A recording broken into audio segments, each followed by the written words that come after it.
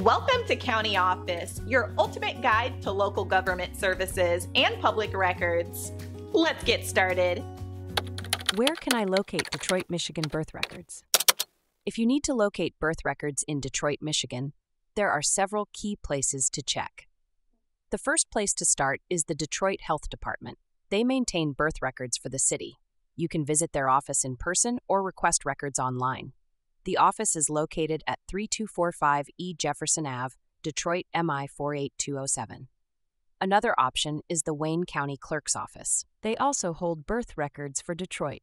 Their office is located at 2 Woodward Ave, room 201, Detroit MI 48226. You can request records in person or by mail. For records dating back before 1906, you might need to check the Michigan Department of Health and Human Services.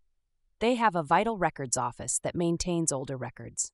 Their office is located at 333 S Grand Ave, Lansing, MI 48933. When requesting birth records, you will need to provide certain information.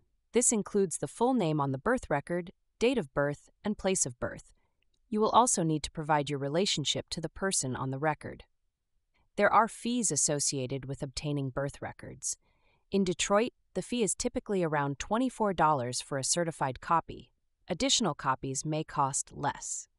Payment can usually be made by credit card, check, or money order. Processing times can vary. In person requests are often processed the same day. Mail requests can take several weeks. Online requests may have additional processing fees but can be quicker.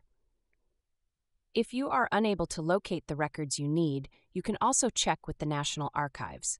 They have a wealth of genealogical resources that might help. Their website is a great place to start for historical records.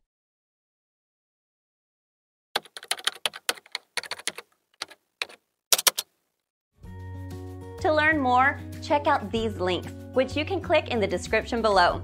And feel free to comment your questions. We're here to help. Thanks for tuning in to our video. Please like and subscribe and leave a comment below. See you in the next video.